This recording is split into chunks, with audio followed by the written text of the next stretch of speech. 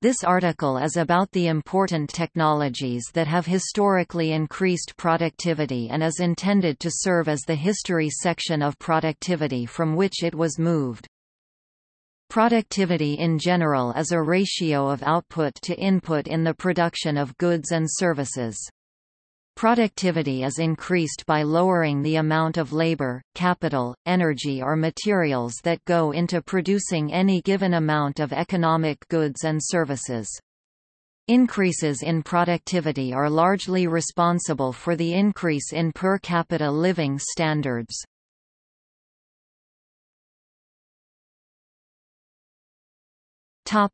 History Productivity-improving technologies date back to antiquity, with rather slow progress until the late Middle Ages. Important examples of early to medieval European technology include the water wheel, the horse collar, the spinning wheel, the three-field system after 1500 the four-field system, see crop rotation and the blast furnace.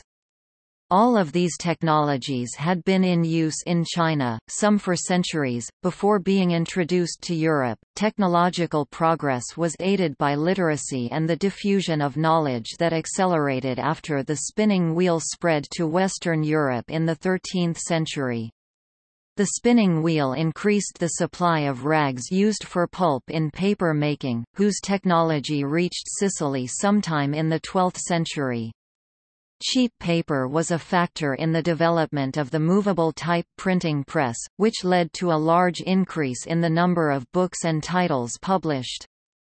Books on science and technology eventually began to appear, such as the Mining Technical Manual de Re Metallica, which was the most important technology book of the 16th century and was the standard chemistry text for the next 180 years. Francis Bacon (1561–1626) is known for the scientific method, which was a key factor in the scientific revolution.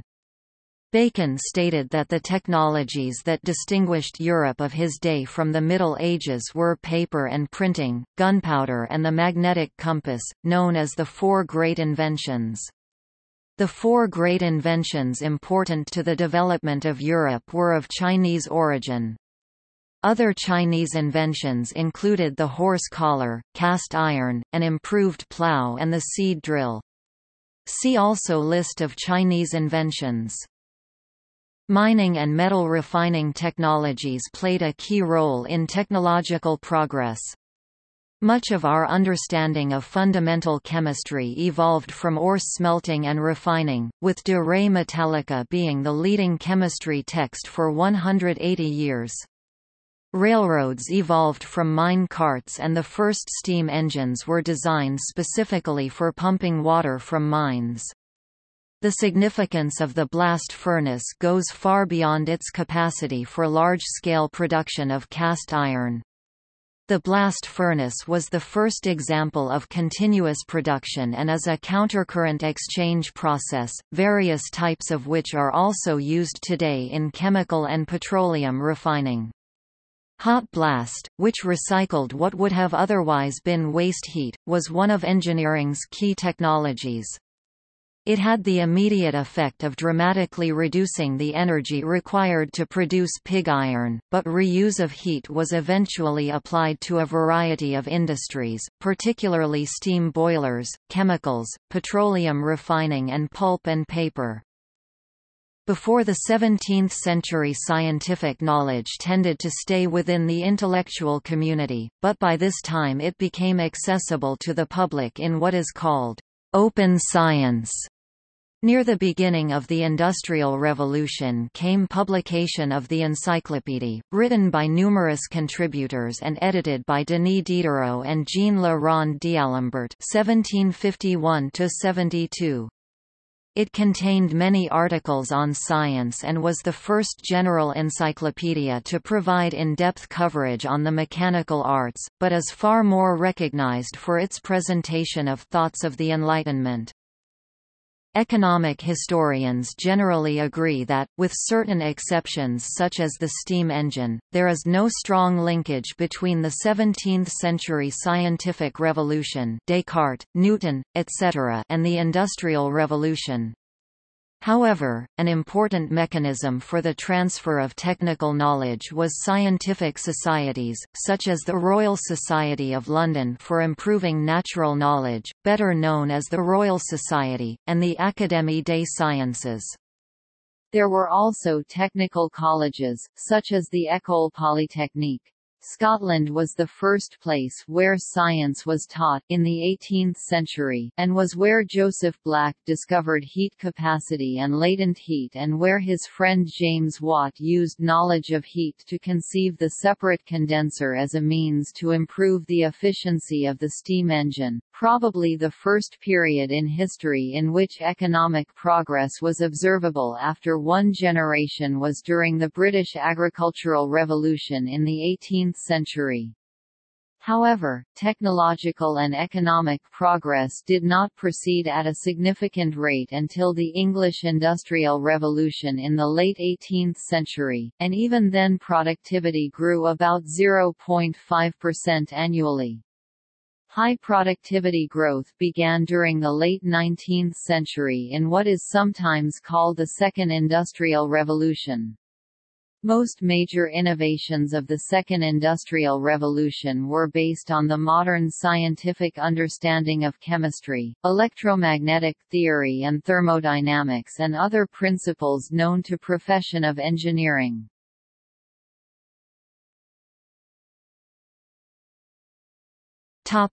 Major sources of productivity growth in economic history.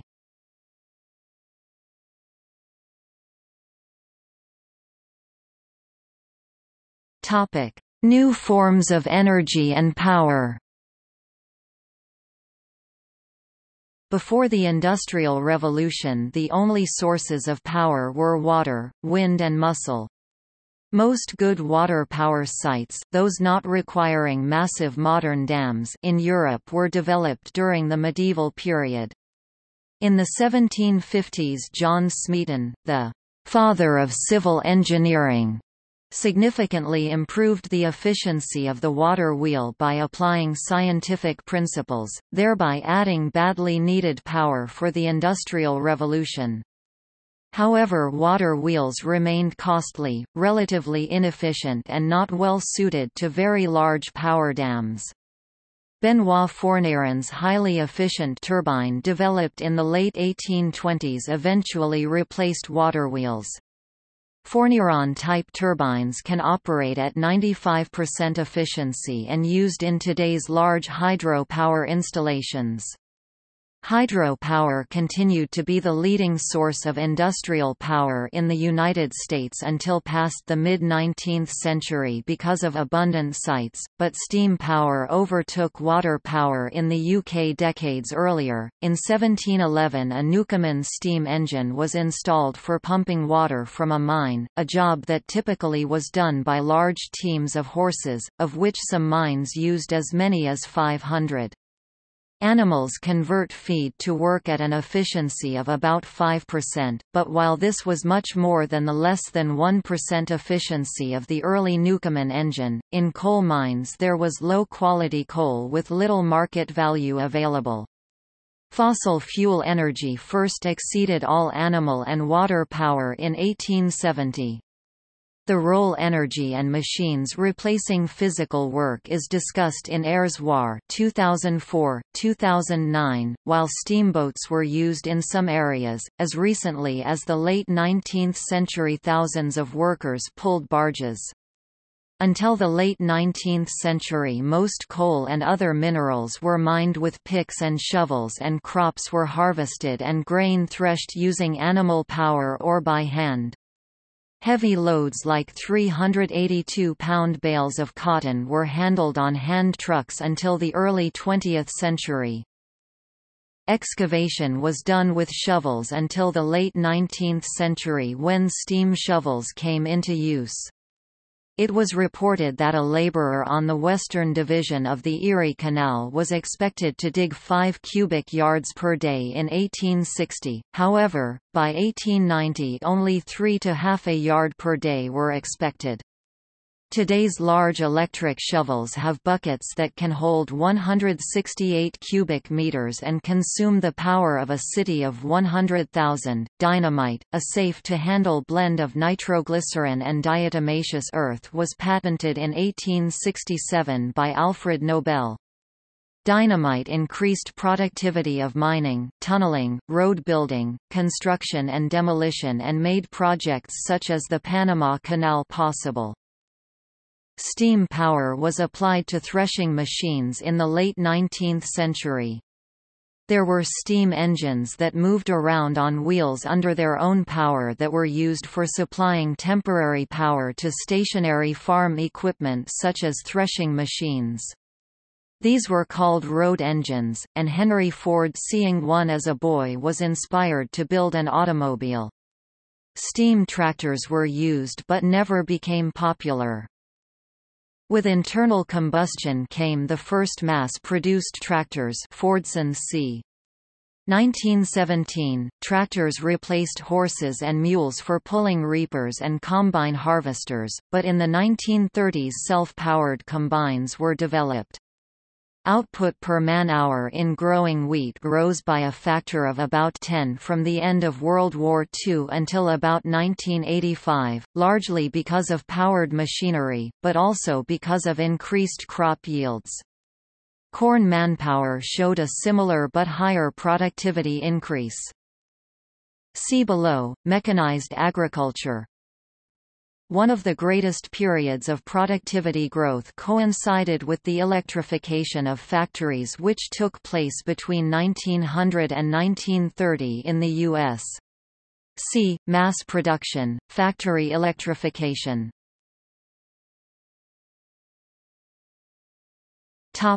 Energy efficiency In engineering and economic history the most important types of energy efficiency were in the conversion of heat to work, the reuse of heat and the reduction of friction. There was also a dramatic reduction energy required to transmit electronic signals, both voice and data.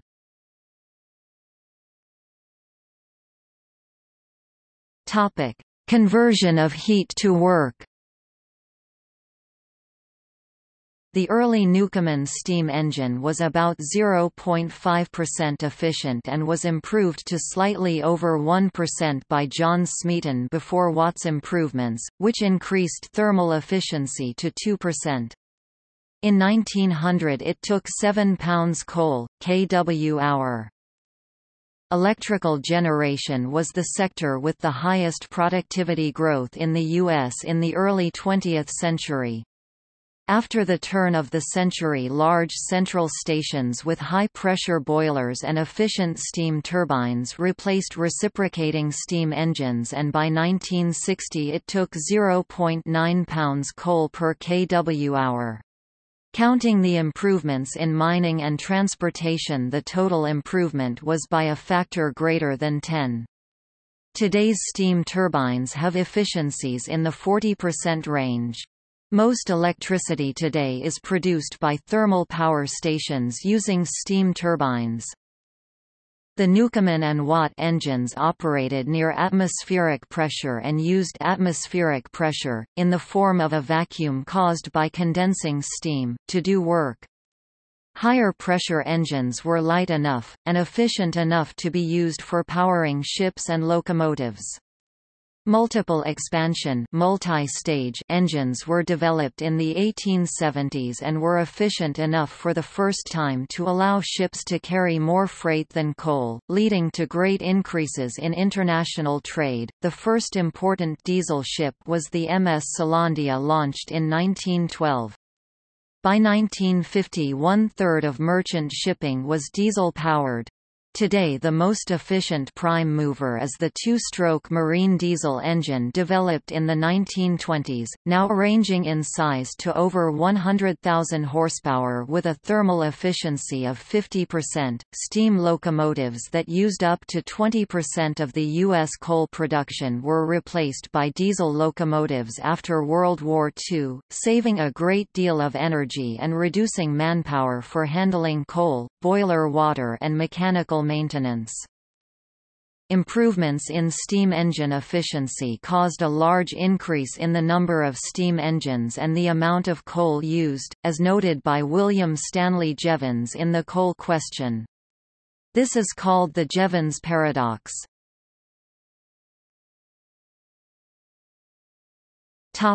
Electrification and the pre-electric transmission of power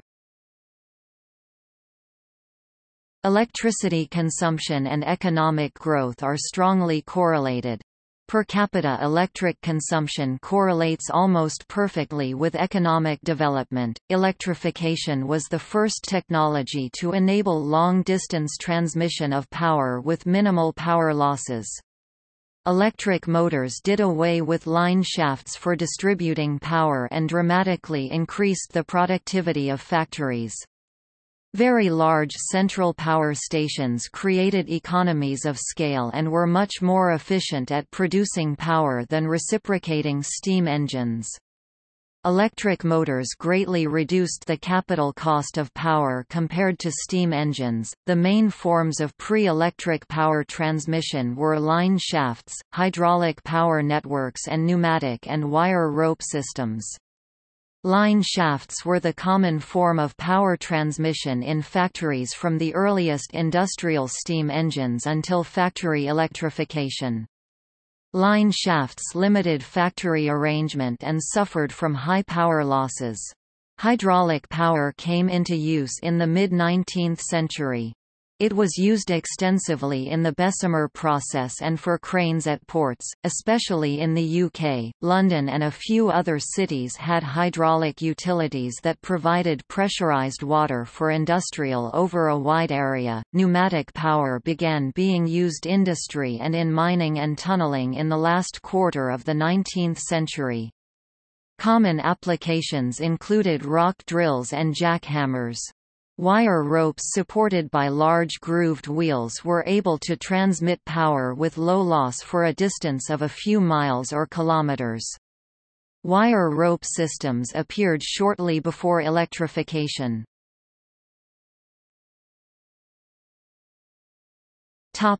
Reuse of heat Recovery of heat for industrial processes was first widely used as hot blast in blast furnaces to make pig iron in 1828. Later heat reuse included the Siemens-Martin process which was first used for making glass and later for steel with the open hearth furnace, see, iron and steel below. Today heat is reused in many basic industries such as chemicals, oil refining and pulp and paper, using a variety of methods such as heat exchangers in many processes. Multiple effect evaporators use vapor from a high temperature effect to evaporate a lower temperature boiling fluid. In the recovery of kraft pulping chemicals the spent black liquor can be evaporated five or six times by reusing the vapor from one effect to boil the liquor in the preceding effect.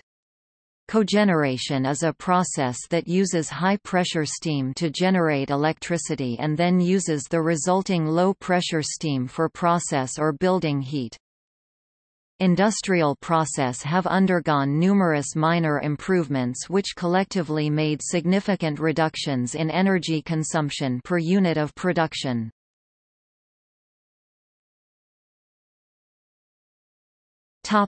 Reducing friction Reducing friction was one of the major reasons for the success of railroads compared to wagons. This was demonstrated on an iron plate-covered wooden tramway in 1805 at Croydon, UK. A good horse on an ordinary turnpike road can draw 2,000 pounds, or 1 ton. A party of gentlemen were invited to witness the experiment, that the superiority of the new road might be established by ocular demonstration. Twelve wagons were loaded with stones, till each wagon weighed three tons, and the wagons were fastened together. A horse was then attached, which drew the wagons with ease, six miles in two hours, having stopped four times, in order to show he had the power of starting, as well as drawing his great load. Better lubrication, such as from petroleum oils, reduced friction losses in mills and factories. Anti-friction bearings were developed using alloy steels and precision machining techniques available in the last quarter of the 19th century. Anti-friction bearings were widely used on bicycles by the 1880s. Bearings began being used on line shafts in the decades before factory electrification and it was the pre-bearing shafts that were largely responsible for their high power losses, which were commonly 25 to 30% and often as much as 50%.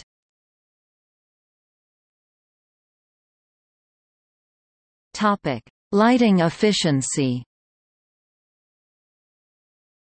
Electric lights were far more efficient than oil or gas lighting and did not generate smoke, fumes nor as much heat.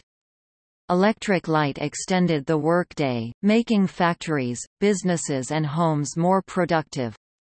Electric light was not a great fire hazard like oil and gas light. The efficiency of electric lights has continuously improved from the first incandescent lamps to tungsten filament lights. The fluorescent lamp, which became commercial in the late 1930s, is much more efficient than incandescent lighting. Light-emitting diodes or LEDs are highly efficient and long-lasting.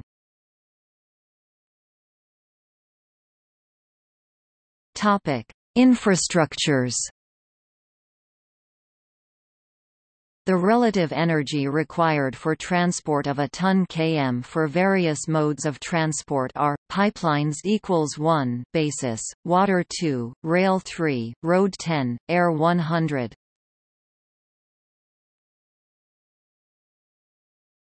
Topic: Roads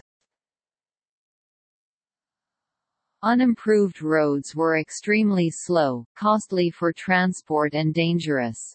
In the 18th century layered gravel began being increasingly used, with the three-layer macadam coming into use in the early 19th century. These roads were crowned to shed water and had drainage ditches along the sides. The top layer of stones eventually crushed to fines and smoothed the surface somewhat. The lower layers were of small stones that allowed good drainage. Importantly, they offered less resistance to wagon wheels and horses' hooves and feet did not sink in the mud. Plank roads also came into use in the U.S. in the 1810s to 1820s. Improved roads were costly, and although they cut the cost of land transportation in half or more, they were soon overtaken by railroads as the major transportation infrastructure.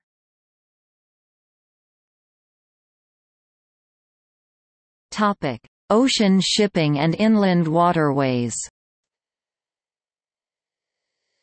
Sailing ships could transport goods for over a 3,000 miles for the cost of 30 miles by wagon. A horse that could pull a one-ton wagon could pull a 30-ton barge. During the English or First Industrial Revolution, supplying coal to the furnaces at Manchester was difficult because there were few roads and because of the high cost of using wagons. However, canal barges were known to be workable, and this was demonstrated by building the Bridgewater Canal, which opened in 1761, bringing coal from Worsley to Manchester.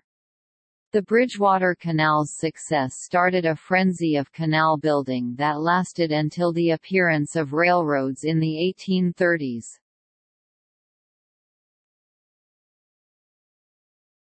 Topic: Railroads.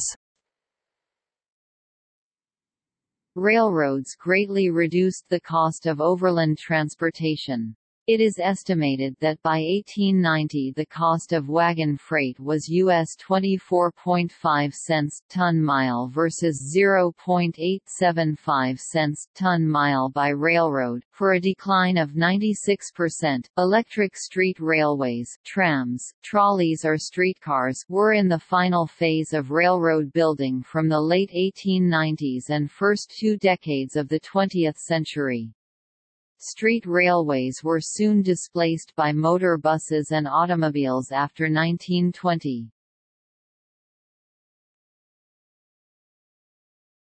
Topic: Motorways. Highways with internal combustion powered vehicles completed the mechanization of overland transportation.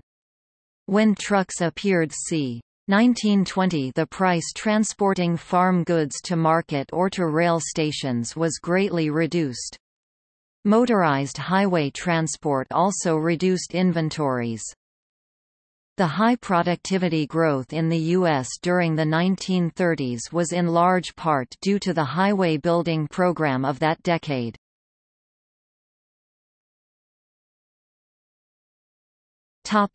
Pipelines Pipelines are the most energy-efficient means of transportation. Iron and steel pipelines came into use during latter part of the 19th century, but only became a major infrastructure during the 20th century.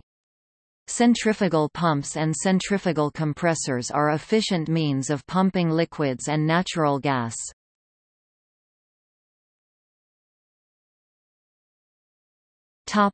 Mechanization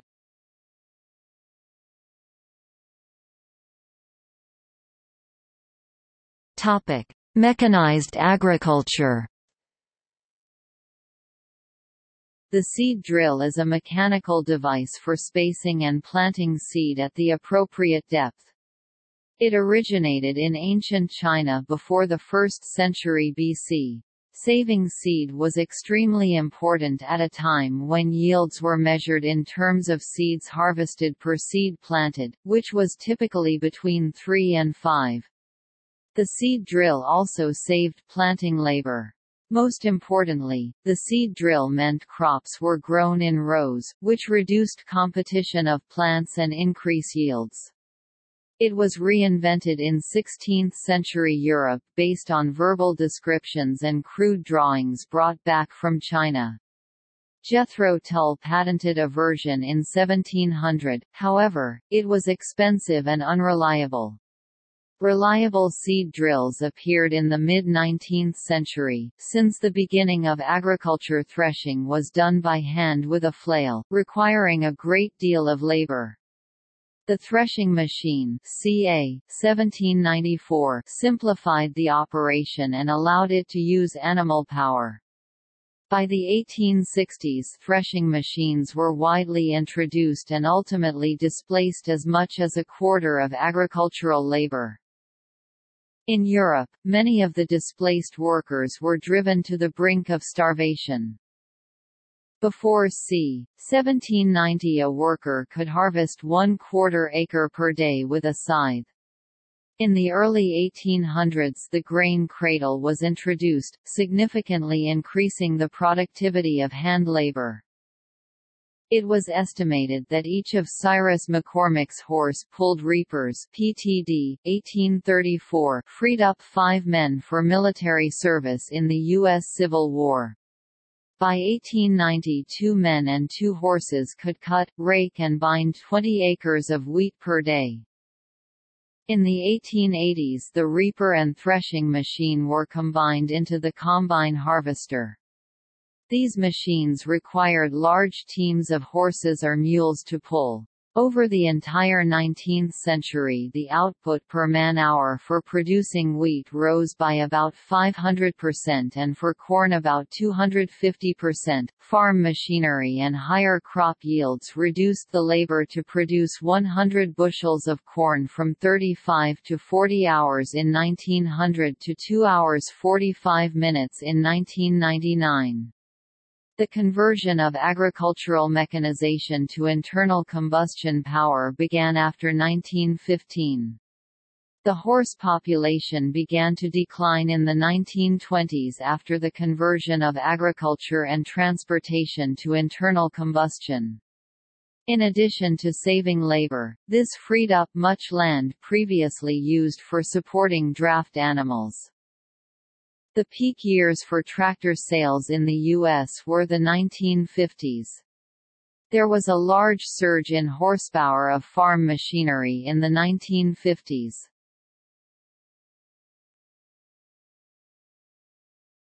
Topic: Industrial machinery. The most important mechanical devices before the Industrial Revolution were water and wind mills. Water wheels date to Roman times and windmills somewhat later. Water and wind power were first used for grinding grain into flour, but were later adapted to power trip hammers for pounding rags into pulp for making paper and for crushing ore. Just before the Industrial Revolution water power was applied to bellows for iron smelting in Europe. Water-powered blast bellows were used in ancient China. Wind and water power were also used in sawmills. The technology of building mills and mechanical clocks was important to the development of the machines of the Industrial Revolution. The spinning wheel was a medieval invention that increased thread-making productivity by a factor greater than 10. One of the early developments that preceded the Industrial Revolution was the stocking frame loom of c. 1589. Later in the Industrial Revolution came the flying shuttle, a simple device that doubled the productivity of weaving. Spinning thread had been a limiting factor in cloth making requiring ten spinners using the spinning wheel to supply one weaver. With the spinning jenny a spinner could spin eight threads at once. The water frame PTD, 1768 adapted water power to spinning, but it could only spin one thread at a time. The water frame was easy to operate and many could be located in a single building. The spinning mule 1779 allowed a large number of threads to be spun by a single machine using water power. A change in consumer preference for cotton at the time of increased cloth production resulted in the invention of the cotton gin PTD, 1794.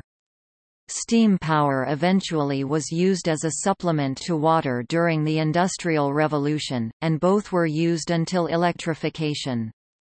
A graph of productivity of spinning technologies can be found in Ayres 1989, along with much other data related this article, with a cotton gin 1792 in one day a man could remove seed from as much upland cotton as would have previously taken a woman working two months to process at one pound per day using a roller gin, an early example of a large productivity increase by special purpose machines is the c.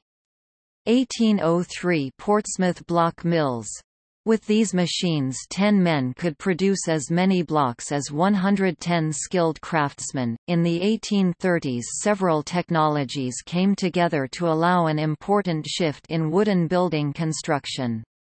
The circular saw 1777, cut nail machines 1794, and steam engine allowed slender pieces of lumber such as 2 X4 S to be efficiently produced and then nailed together in what became known as balloon framing 1832.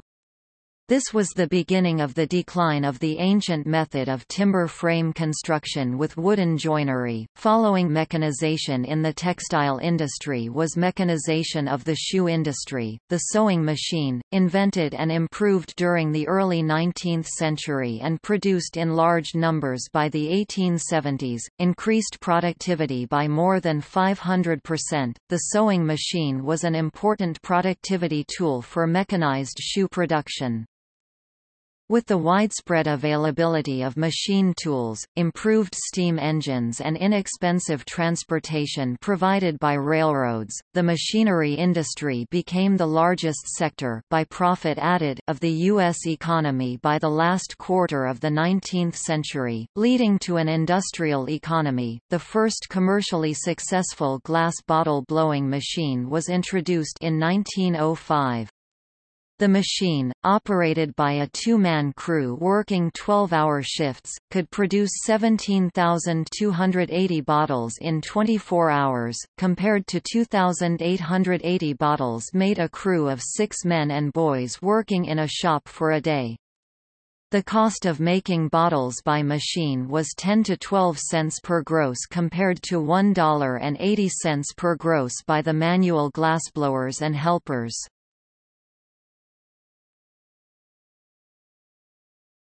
Topic: Machine tools. Machine tools, which cut, grind and shape metal parts, were another important mechanical innovation of the Industrial Revolution. Before machine tools it was prohibitively expensive to make precision parts, an essential requirement for many machines and interchangeable parts. Historically important machine tools are the screw-cutting lathe, milling machine and metal planer, metalworking, which all came into use between 1800 and 1840. However, around 1900, it was the combination of small electric motors, specialty steels and new cutting and grinding materials that allowed machine tools to mass-produce steel parts. Production of the Ford Model T required 32,000 machine tools. Modern manufacturing began around 1900 when machines, aided by electric, hydraulic and pneumatic power, began to replace hand methods in industry. An early example is the Owens automatic glass bottle blowing machine, which reduced labor in making bottles by over 80%. See also, mass production Hashtag factory electrification Topic. Mining Large mining machines, such as steam shovels, appeared in the mid-19th century, but were restricted to rails until the widespread introduction of continuous track and pneumatic tires in the late 19th and early 20th centuries. Until then much mining work was mostly done with pneumatic drills, jackhammers, picks and shovels. Coal seam undercutting machines appeared around 1890 and were used for 75% of coal production by 1934. Coal loading was still being done manually with shovels around 1930, but mechanical pickup and loading machines were coming into use. The use of the coal boring machine improved productivity of subsurface coal mining by a factor of 3 between 1949 and 1969. There is currently a transition going underway from more labor intensive methods of mining to more mechanization and even automated mining.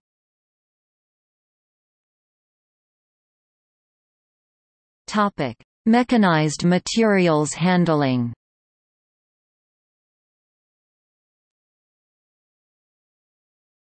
Topic: Bulk materials handling.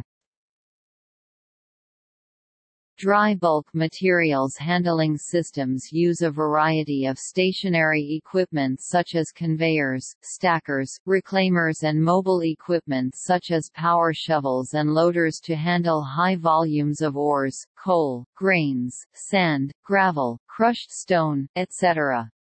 Bulk materials handling systems are used at mines, for loading and unloading ships and at factories that process bulk materials into finished goods, such as steel and paper mills. Mechanical stokers for feeding coal to locomotives were in use in the 1920s. A completely mechanized and automated coal handling and stoking system was first used to feed pulverized coal to an electric utility boiler in 1921. Liquids and gases are handled with centrifugal pumps and compressors, respectively.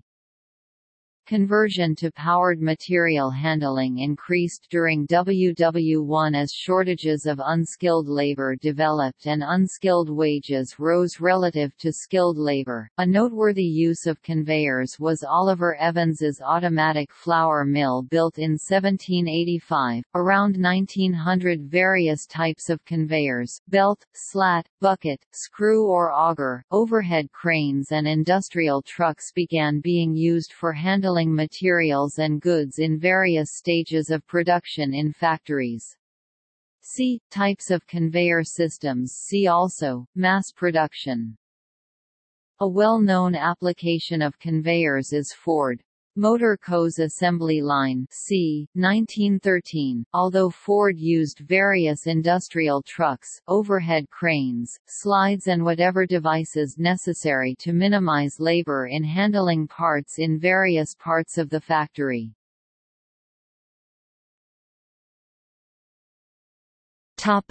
Cranes Cranes are an ancient technology but they became widespread following the Industrial Revolution. Industrial cranes were used to handle heavy machinery at the Nasmyth, Gaskell and Company Bridgewater Foundry in the late 1830s. Hydraulic-powered cranes became widely used in the late 19th century, especially at British ports. Some cities, such as London, had public utility hydraulic service networks to power. Steam cranes were also used in the late 19th century. Electric cranes, especially the overhead type, were introduced in factories at the end of the 19th century. Steam cranes were usually restricted to rails. Continuous track caterpillar tread was developed in the late 19th century. The important categories of cranes are Overhead crane or bridge cranes travel on a rail and have trolleys that move the hoist to any position inside the crane frame. Widely used in factories. Mobile crane usually gasoline or diesel powered and travel on wheels for on or off-road, rail or continuous track. They are widely used in construction, mining, excavation handling bulk materials. Fixed crane in a fixed position but can usually rotate full circle. The most familiar example is the tower crane used to erect tall buildings. Topic: Palletization Handling goods on pallets was a significant improvement over using hand trucks or carrying sacks or boxes by hand and greatly speeded up loading and unloading of trucks, rail cars and ships. Pallets can be handled with pallet jacks or forklift trucks which began being used in industry in the 1930s and became widespread by the 1950s. Loading docks built to architectural standards allow trucks or rail cars to load and unload at the same elevation as the warehouse floor.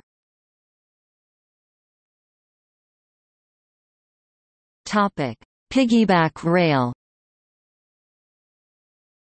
Piggyback is the transporting of trailers or entire trucks on rail cars, which is a more fuel-efficient means of shipping and saves loading, unloading and sorting labor. Wagons had been carried on rail cars in the 19th century, with horses in separate cars. Trailers began being carried on rail cars in the U.S. in 1956.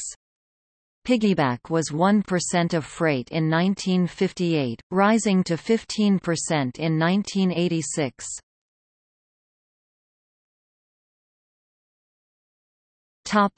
Containerization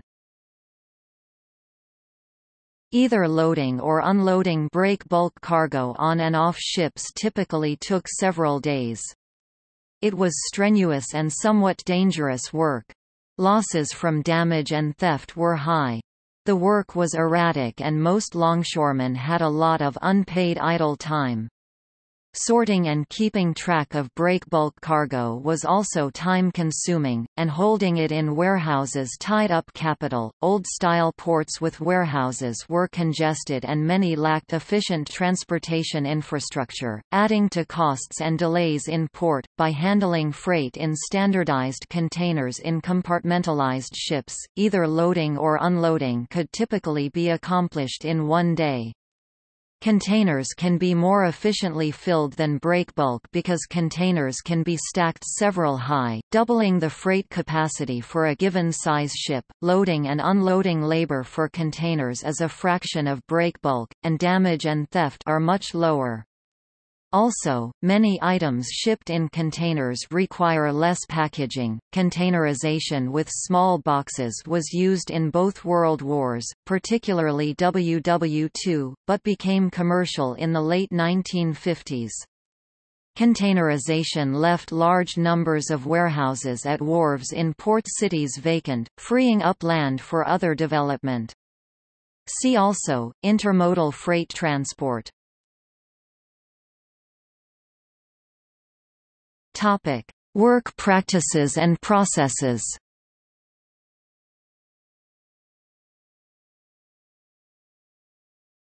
Topic: Division of labor.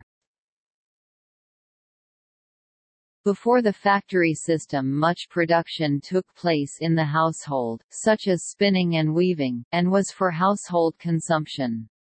This was partly due to the lack of transportation infrastructures, especially in America. Division of labor was practiced in antiquity but became increasingly specialized during the Industrial Revolution, so that instead of a shoemaker cutting out leather as part of the operation of making a shoe, a worker would do nothing but cut out leather.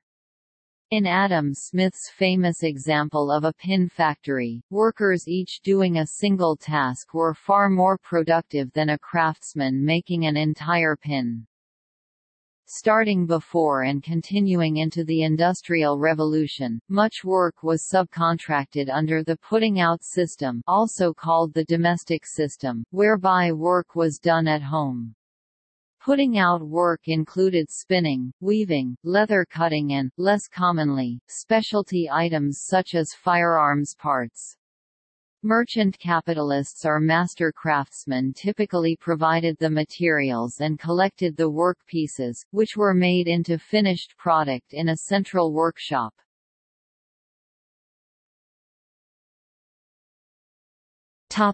Factory system. During the Industrial Revolution much production took place in workshops, which were typically located in the rear or upper level of the same building where the finished goods were sold. These workshops used tools and sometimes simple machinery, which was usually hand or animal-powered.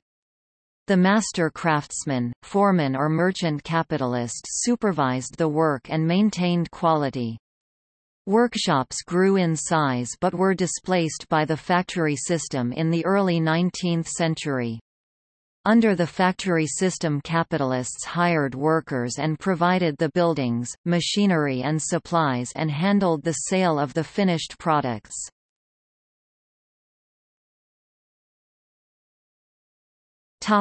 Interchangeable parts Changes to traditional work processes that were done after analyzing the work and making it more systematic greatly increased the productivity of labor and capital.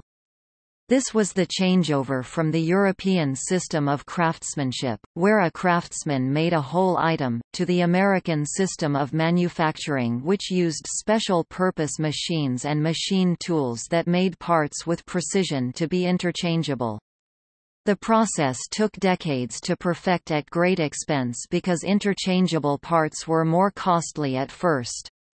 Interchangeable parts were achieved by using fixtures to hold and precisely align parts being machined, jigs to guide the machine tools and gauges to measure critical dimensions of finished parts.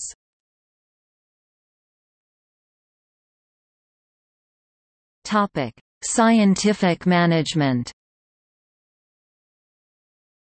Other work processes involved minimizing the number of steps in doing individual tasks, such as bricklaying, by performing time and motion studies to determine the one best method, the system becoming known as Taylorism after Frederick Winslow Taylor who is the best-known developer of this method, which is also known as scientific management after his work The Principles of Scientific Management.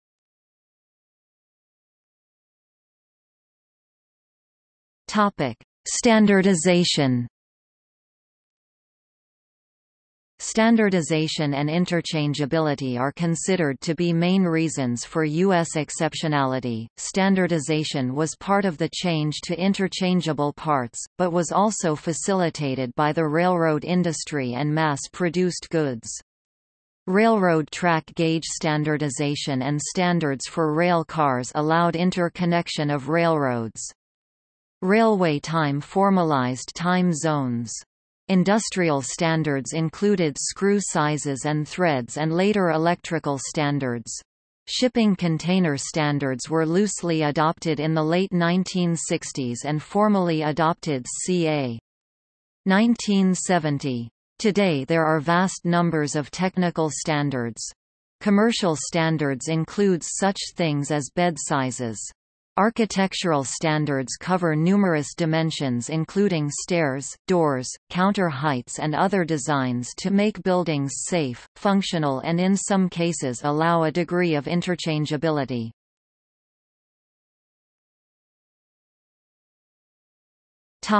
Rationalized factory layout Electrification allowed the placement of machinery such as machine tools in a systematic arrangement along the flow of the work. Electrification was a practical way to motorize conveyors to transfer parts and assemblies to workers, which was a key step leading to mass production and the assembly line.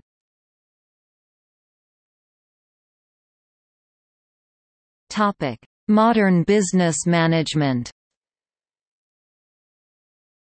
Business administration, which includes management practices and accounting systems is another important form of work practices. As the size of businesses grew in the second half of the 19th century they began being organized by departments and managed by professional managers as opposed to being run by sole proprietors or partners. Business administration as we know it was developed by railroads who had to keep up with trains, railcars, equipment, personnel and freight over large territories. Modern business enterprise MBE is the organization and management of businesses, particularly large ones. MBEs employ professionals who use knowledge-based techniques such areas as engineering, research and development, information technology, business administration, finance and accounting. MBEs typically benefit from economies of scale. Before railroad accounting we were moles burrowing in the dark. Andrew Carnegie Topic: Continuous production. Continuous production is a method by which a process operates without interruption for long periods, perhaps even years. Continuous production began with blast furnaces in ancient times and became popular with mechanized processes following the invention of the Fourdrinier paper machine during the Industrial Revolution, which was the inspiration for continuous rolling. It began being widely used in chemical and petroleum refining industries in the late 19th and early 20th centuries. It was later applied to direct strip casting of steel and other metals. Early steam engines did not supply power at a constant enough load for many continuous applications ranging from cotton spinning to rolling mills, restricting their power source to water. Advances in steam engines such as the Corliss steam engine and the development of control theory led to more constant engine speeds, which made steam power useful for sensitive tasks such as cotton spinning. AC motors, which run at constant speed even with load variations, were well suited to such processes.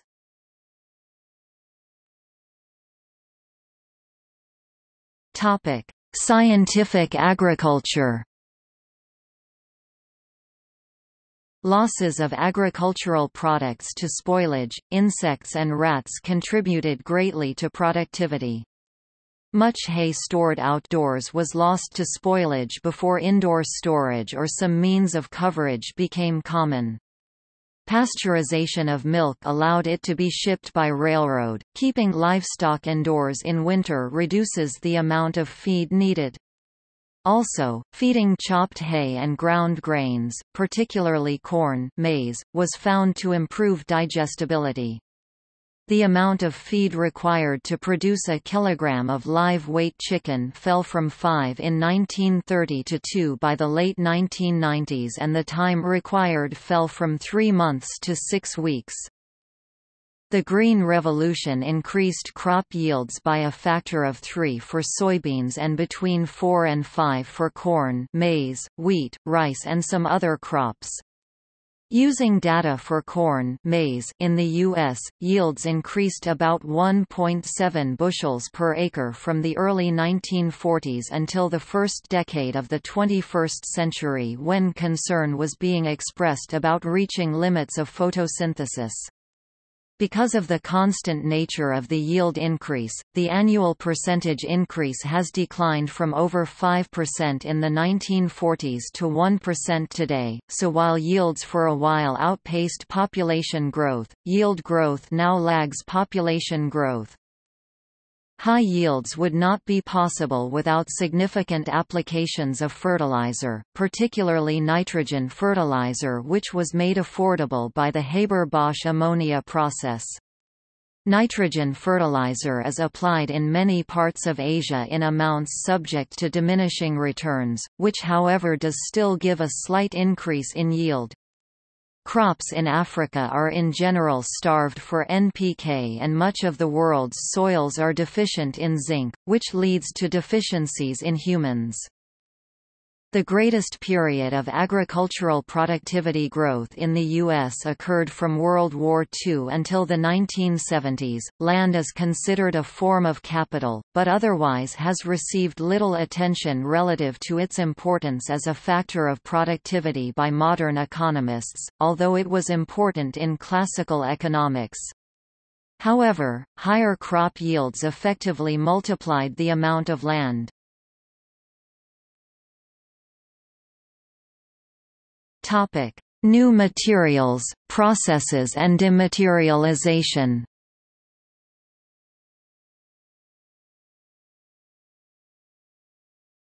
Topic: Iron and steel. The process of making cast iron was known before the 3rd century AD in China. Cast iron production reached Europe in the 14th century and Britain around 1500. Cast iron was useful for casting into pots and other implements, but was too brittle for making most tools. However, cast iron had a lower melting temperature than wrought iron and was much easier to make with primitive technology. Wrought iron was the material used for making many hardware items, tools and other implements. Before cast iron was made in Europe, wrought iron was made in small batches by the bloomery process, which was never used in China. Wrought iron could be made from cast iron more cheaply than it could be made with a bloomery. The inexpensive process for making good quality wrought iron was puddling, which became widespread after 1800. Puddling involved stirring molten cast iron until small globs sufficiently decarburized to form globs of hot wrought iron that were then removed and hammered into shapes. Puddling was extremely labor-intensive.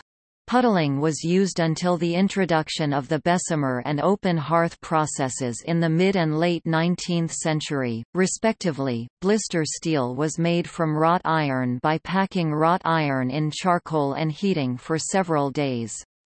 C. Cementation process The blister steel could be heated and hammered with wrought iron to make shear steel, which was used for cutting edges like scissors, knives and axes. Shear steel was of non-uniform quality and a better process was needed for producing watch springs, a popular luxury item in the 18th century. The successful process was crucible steel, which was made by melting wrought iron and blister steel in a crucible. Production of steel and other metals was hampered by the difficulty in producing sufficiently high temperatures for melting.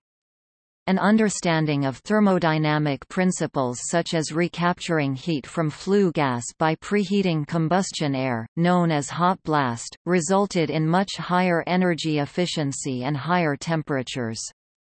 Preheated combustion air was used in iron production and in the open hearth furnace. In 1780, before the introduction of hot blast in 1829, it required seven times as much coke as the weight of the product pig iron. The hundredweight of coke per short ton of pig iron was 35 in 1900, falling to 13 in 1950.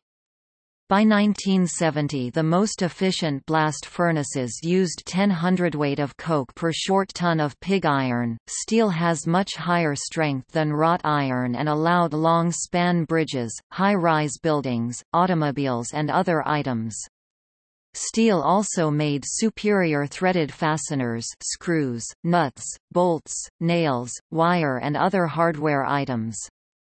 Steel rails lasted over 10 times longer than wrought iron rails. The Bessemer and open hearth processes were much more efficient than making steel by the puddling process because they used the carbon in the pig iron as a source of heat. The Bessemer patented in 1855 and the Siemens Martin c. 1865 processes greatly reduced the cost of steel. By the end of the 19th century, Gilchrist-Thomas basic process had reduced production costs by 90% compared to the puddling process of the mid-century. Today a variety of alloy steels are available that have superior properties for special applications like automobiles, pipelines and drill bits. High-speed or tool steels, whose development began in the late 19th century, allowed machine tools to cut steel at much higher speeds. High-speed steel and even harder materials were an essential component of mass production of automobiles. Some of the most important specialty materials are steam turbine and gas turbine blades, which have to withstand extreme mechanical stress and high temperatures. The size of blast furnaces grew greatly over the 20th century, and innovations like additional heat recovery and pulverized coal, which displaced coke and increased energy efficiency. Bessemer steel became brittle with age because nitrogen was introduced when air was blown in. The Bessemer process was also restricted to certain ores low phosphate hematite. By the end of the 19th century the Bessemer process was displaced by the open hearth furnace OHF. After World War II the OHF was displaced by the Basic Oxygen Furnace BOF, which used oxygen instead of air and required about 35 to 40 minutes to produce a batch of steel compared to 8 to 9 hours for the OHF. The BOF also was more energy efficient. By 1913, 80% of steel was being made from molten pig iron directly from the blast furnace, eliminating the step of casting the pigs ingots and remelting. The continuous wide strip rolling mill, developed by Armco in 1928, was most important development in steel industry during the interwar years. Continuous wide strip rolling started with a thick, coarse ingot. It produced a smoother sheet with more uniform thickness, which was better for stamping and gave a nice painted surface. It was good for automotive body steel and appliances. It used only a fraction of the labor of the discontinuous process, and was safer because it did not require continuous handling. Continuous rolling was made possible by improved sectional speed control, c. automation, process control and servomechanisms, after 1950 continuous casting contributed to productivity of converting steel to structural shapes by eliminating the intermittent step of making slabs, billets square cross-section or blooms rectangular, which then usually have to be reheated before rolling into shapes. Thin slab casting, introduced in 1989, reduced labor to less than one hour per ton. Continuous thin slab casting and the BOF were the two most important productivity advancements in 20th-century steelmaking. As a result of these innovations, between 1920 and 2000 labor requirements in the steel industry decreased by a factor of 1,000, from more than 3 worker hours per ton to just 0.003.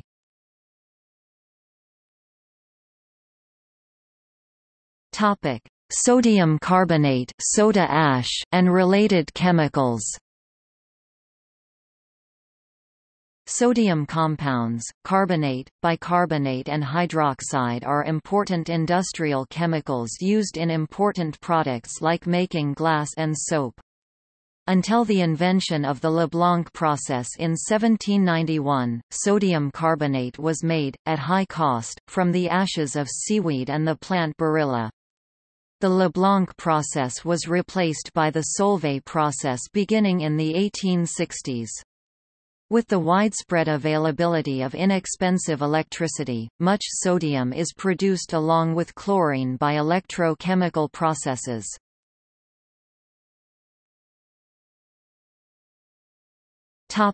Cement Cement is the binder for concrete, which is one of the most widely used construction materials today because of its low cost, versatility and durability. Portland cement, which was invented 1824–5, is made by calcining limestone and other naturally occurring minerals in a kiln. A great advance was the perfection of rotary cement kilns in the 1890s, the method still being used today. Reinforced concrete, which is suitable for structures, began being used in the early 20th century.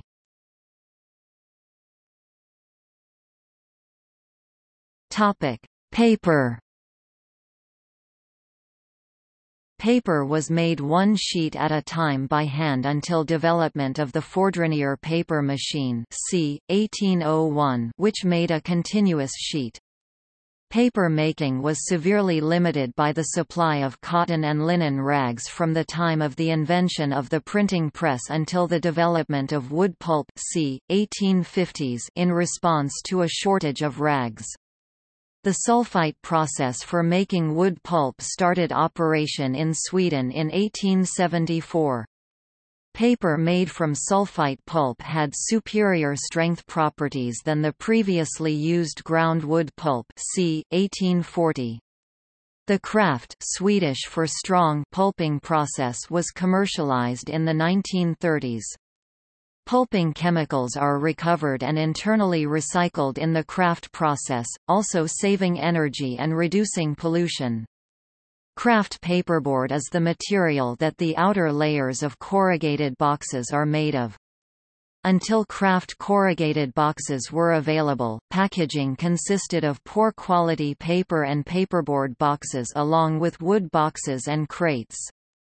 Corrugated boxes require much less labor to manufacture than wooden boxes and offer good protection to their contents.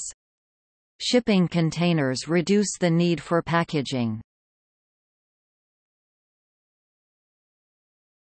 Topic: Rubber and plastics. Vulcanized rubber made the pneumatic tire possible, which in turn enabled the development of on- and off-road vehicles as we know them. Synthetic rubber became important during the Second World War when supplies of natural rubber were cut off. Rubber inspired a class of chemicals known as elastomers, some of which are used by themselves or in blends with rubber and other compounds for seals and gaskets, shock-absorbing bumpers and a variety of other applications. Plastics can be inexpensively made into everyday items and have significantly lowered the cost of a variety of goods including packaging, containers, parts and household piping.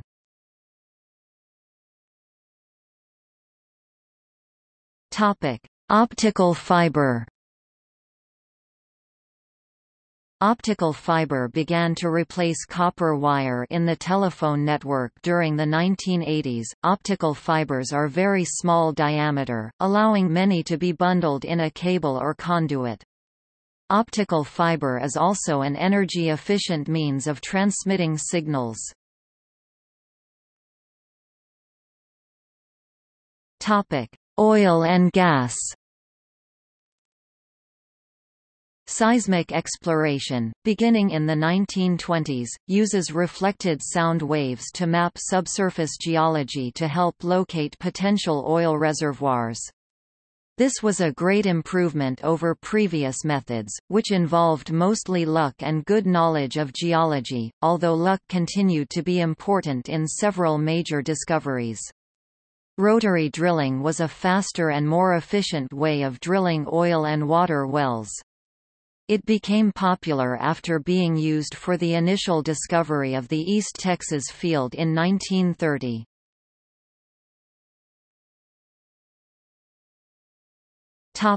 Hard materials for cutting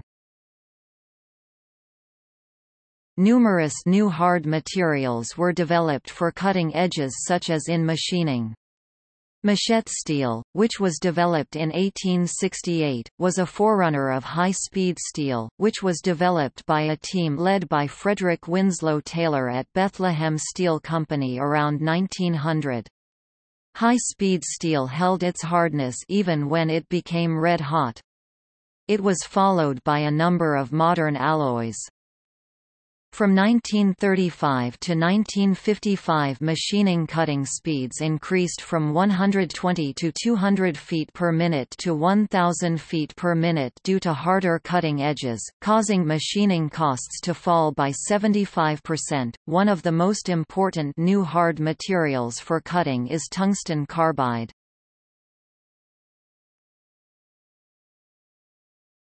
Topic: Dematerialization Dematerialization is the reduction of use of materials in manufacturing, construction, packaging or other uses. In the U.S. the quantity of raw materials per unit of output decreased approximately 60% since 1900. In Japan the reduction has been 40% since 1973. Dematerialization is made possible by substitution with better materials and by engineering to reduce weight while maintaining function. Modern examples are plastic beverage containers replacing glass and paperboard, plastic shrink wrap used in shipping and lightweight plastic packing materials. Dematerialization has been occurring in the U.S. steel industry where the peak in consumption occurred in 1973 on both an absolute and per capita basis. At the same time, per capita steel consumption grew globally through outsourcing. Cumulative global GDP or wealth has grown in direct proportion to energy consumption since 1970, while Jevons paradox posits that efficiency improvement leads to increased energy consumption. Access to energy globally constrains dematerialization.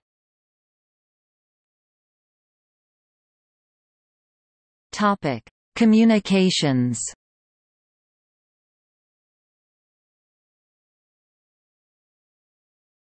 Topic: Telegraphy. The telegraph appeared around the beginning of the railroad era and railroads typically installed telegraph lines along their routes for communicating with the trains. Teleprinters appeared in 1910 and had replaced between 80 and 90% of Morse code operators by 1929. It is estimated that one teletypist replaced 15 Morse code operators. Topic: Telephone. The early use of telephones was primarily for business. Monthly service cost about one-third of the average worker's earnings. The telephone along with trucks and the new road networks allowed businesses to reduce inventory sharply during the 1920s. Telephone calls were handled by operators using switchboards until the automatic switchboard was introduced in 1892. By 1929, 31.9% of the Bell system was automatic. Automatic telephone switching originally used electro-mechanical switches controlled by vacuum tube devices, which consumed a large amount of electricity. Call volume eventually grew so fast that it was feared the telephone system would consume all electricity production, prompting Bell Labs to begin research on the transistor.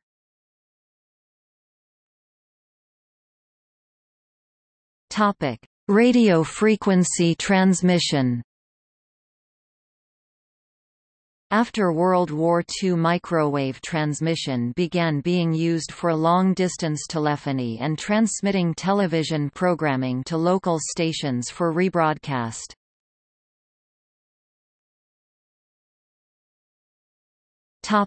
Fiber optics The diffusion of telephony to households was mature by the arrival of fiber optic communications in the late 1970s. Fiber optics greatly increased the transmission capacity of information over previous copper wires and further lowered the cost of long-distance communication.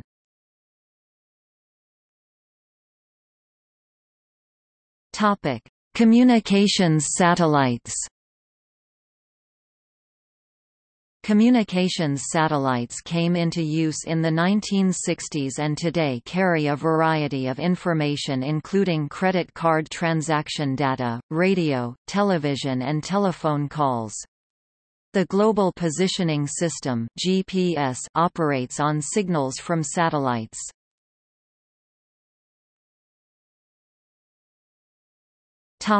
Facsimile fax.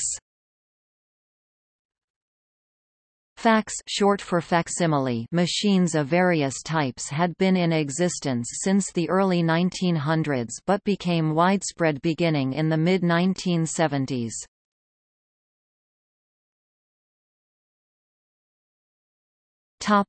Home economics, public water supply, household gas supply and appliances Before public water was supplied to households it was necessary for someone annually to haul up to 10,000 gallons of water to the average household. Natural gas began being supplied to households in the late 19th century. Household appliances followed household electrification in the 1920s, with consumers buying electric ranges, toasters, refrigerators and washing machines. As a result of appliances and convenience foods, time spent on meal preparation and cleanup, laundry and cleaning decreased from 58 hours per week in 1900 to 18 hours per week by 1975. Less time spent on housework allowed more women to enter the labor force.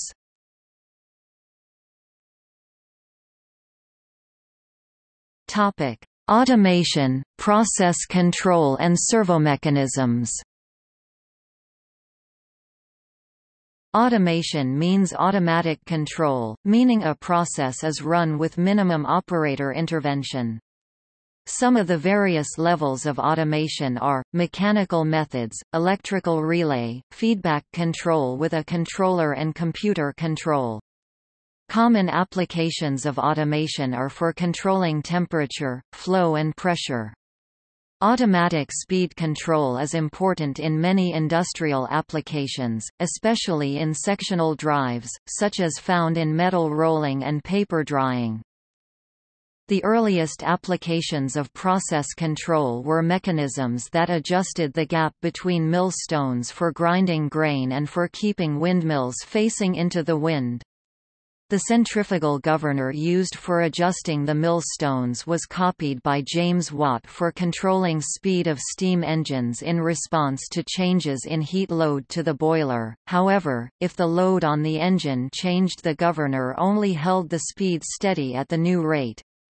It took much development work to achieve the degree of steadiness necessary to operate textile machinery.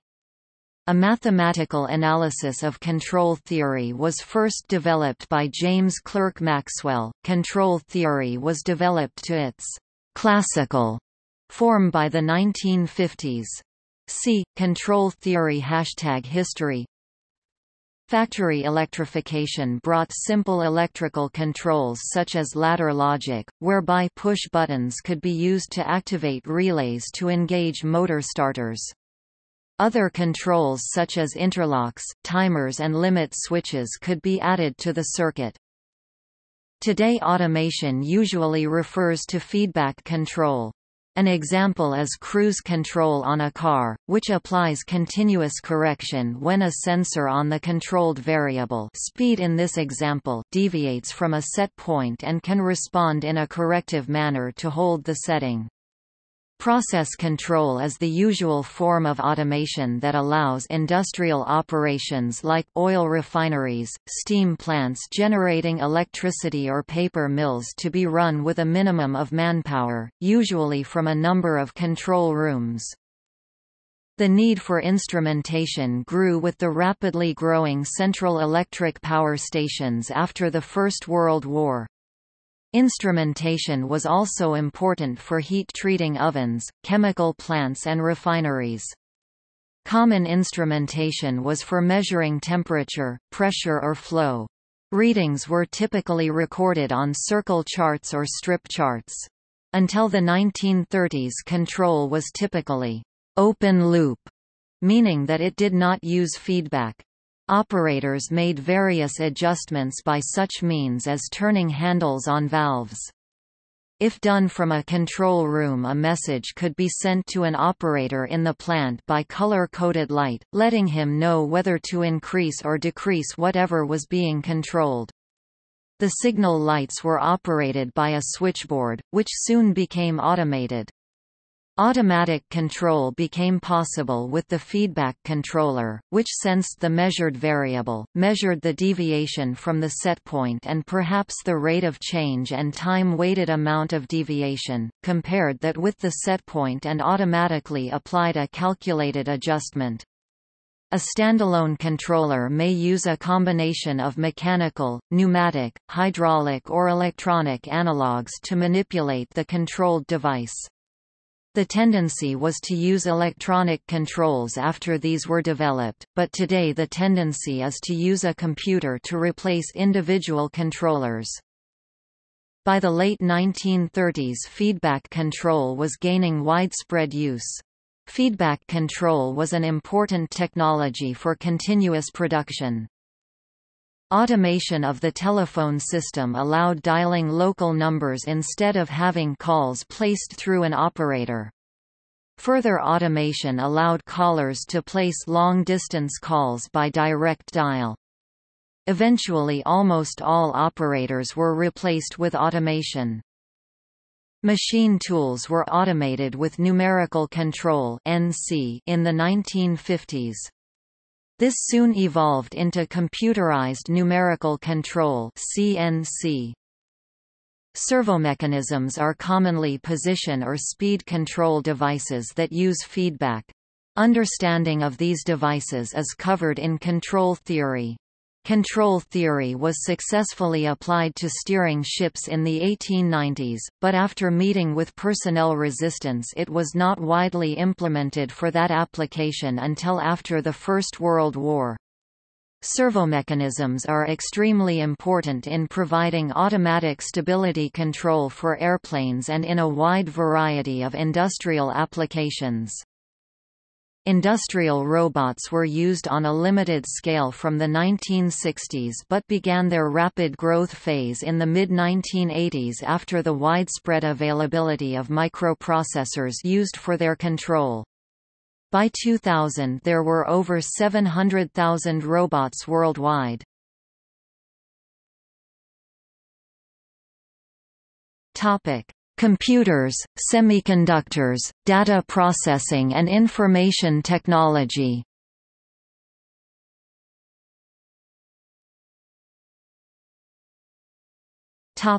Unit record equipment Early electric data processing was done by running punched cards through tabulating machines, the holes in the cards allowing electrical contact to increment electronic counters.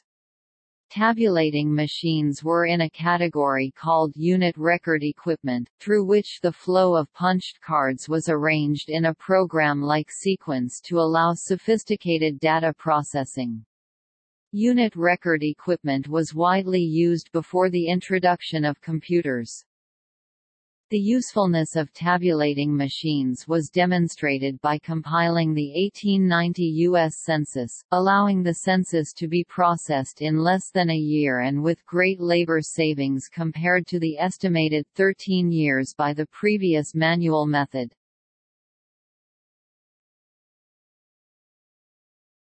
Topic: Stored program computers The first digital computers were more productive than tabulating machines, but not by a great amount. Early computers used thousands of vacuum tubes thermionic valves which used a lot of electricity and constantly needed replacing. By the 1950s the vacuum tubes were replaced by transistors which were much more reliable and used relatively little electricity. By the 1960s thousands of transistors and other electronic components could be manufactured on a silicon semiconductor wafer as integrated circuits, which are universally used in today's computers. Computers used paper tape and punched cards for data and programming input until the 1980s when it was still common to receive monthly utility bills printed on a punched card that was returned with the customer's payment. In 1973 IBM introduced point-of-sale terminals in which electronic cash registers were networked to the store mainframe computer. By the 1980s barcode readers were added. These technologies automated inventory management. Walmart was an early adopter of POS. The Bureau of Labor Statistics estimated that barcode scanners at checkout increased ringing speed by 30% and reduced labor requirements of cashiers and baggers by 10 to 15%. Data storage became better organized after the development of relational database software that allowed data to be stored in different tables. For example, a theoretical airline may have numerous tables such as, airplanes, employees, maintenance contractors, caterers, flights, airports, payments, tickets, etc. each containing a narrower set of more specific information than would a flat file, such as a spreadsheet. These tables are related by common data fields called keys. C. Relational model data can be retrieved in various specific configurations by posing a query without having to pull up a whole table. This, for example, makes it easy to find a passenger's seat assignment by a variety of means such as ticket number or name, and provide only the queried information. C. SQL since the mid-1990s, interactive web pages have allowed users to access various servers over Internet to engage in e-commerce such as online shopping, paying bills, trading stocks, managing bank accounts and renewing auto registrations. This is the ultimate form of back-office automation because the transaction information is transferred directly to the database.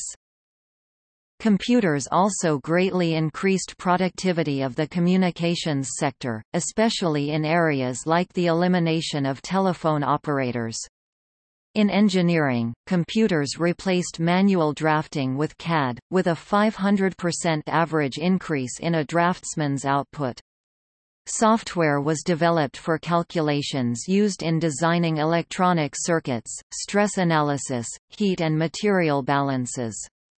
Process simulation software has been developed for both steady-state and dynamic simulation, the latter able to give the user a very similar experience to operating a real process like a refinery or paper mill, allowing the user to optimize the process or experiment with process modifications. Automated teller machines ATMs became popular in recent decades and self-checkout at retailers appeared in the 1990s. The airline reservations system and banking are areas where computers are practically essential. Modern military systems also rely on computers. In 1959 Texaco's Port Arthur refinery became the first chemical plant to use digital process control. Computers did not revolutionize manufacturing because automation, in the form of control systems, had already been in existence for decades, although computers did allow more sophisticated control, which led to improved product quality and process optimization. See, productivity paradox Topic: Long-term decline in productivity growth. The years 1929 to 1941 were, in the aggregate, the most technologically progressive of any comparable period in U.S. economic history. Alexander J. Field as industrialization has proceeded, its effects, relatively speaking, have become less, not more, revolutionary. There has, in effect, been a general progression in industrial commodities from a deficiency to a surplus of capital relative to internal investments. Alan Sweezy, 1943 U.S. productivity growth has been in long-term decline since the early 1970s, with the exception of a 1996–2004 spike caused by an acceleration of Moore's law semiconductor innovation. Part of the early decline was attributed to increased governmental regulation since the 1960s, including stricter environmental regulations.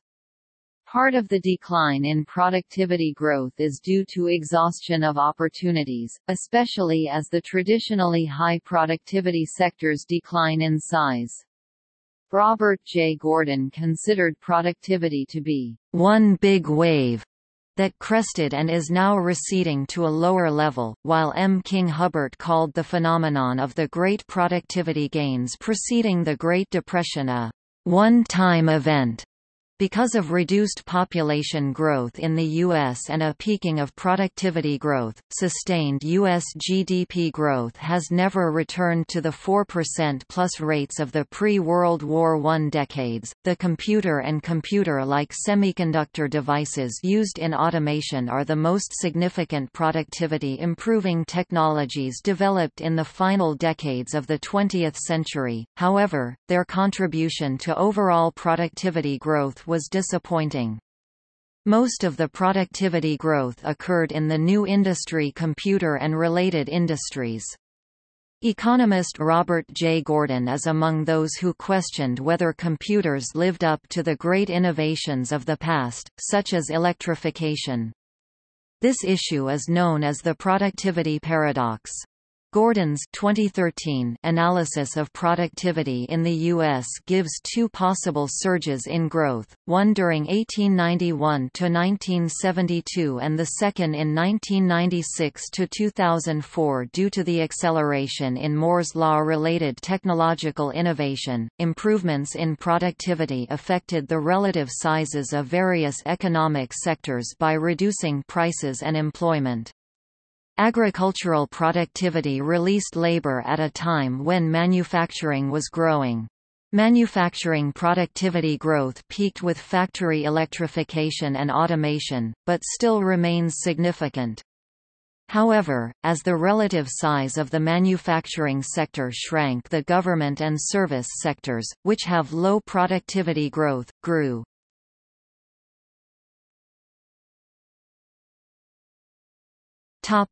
Improvement in living standards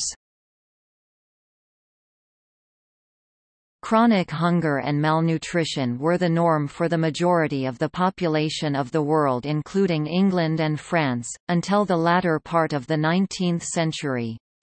Until about 1750, in large part due to malnutrition, life expectancy in France was about 35 years, and only slightly higher in England.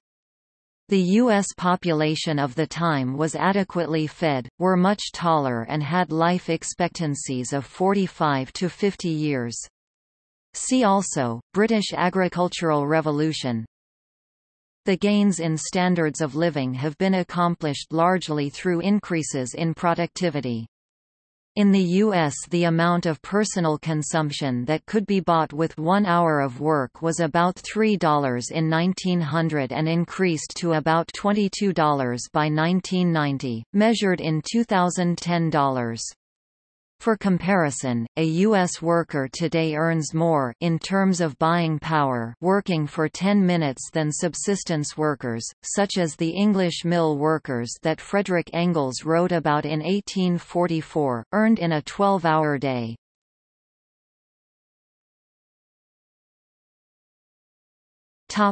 Decline in work week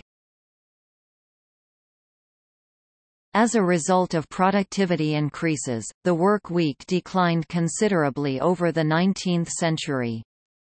By the 1920s the average work week in the U.S. was 49 hours, but the work week was reduced to 40 hours after which overtime premium was applied as part of the National Industrial Recovery Act of 1933.